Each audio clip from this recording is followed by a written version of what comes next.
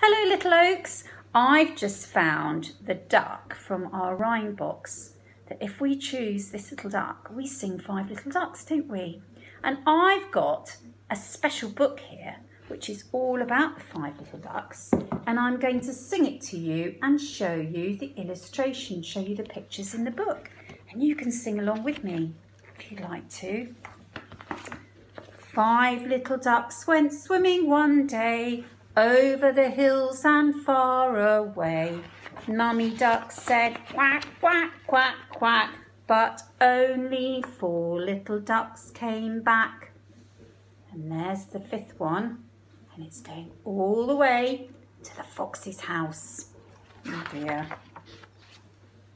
Four little ducks went swimming one day over the hills and far away. Mummy Duck said quack, quack, quack, quack.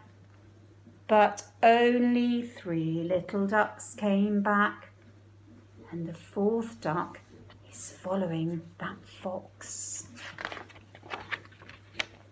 Three little ducks went swimming one day over the hills and far away. Mummy Duck said quack, quack, quack, quack, but only two little ducks came back.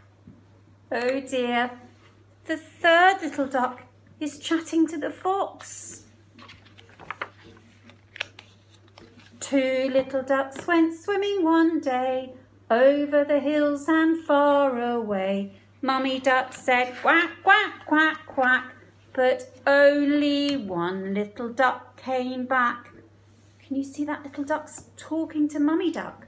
And I think he's probably telling her that the second little duck is following the fox as well to his house. The fox has gone out. He's left his house.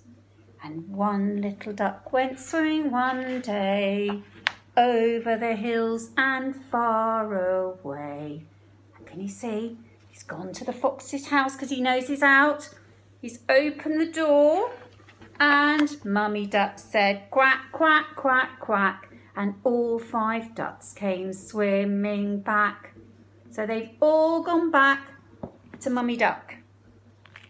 Hope you enjoyed that, little oaks, and see you all again soon.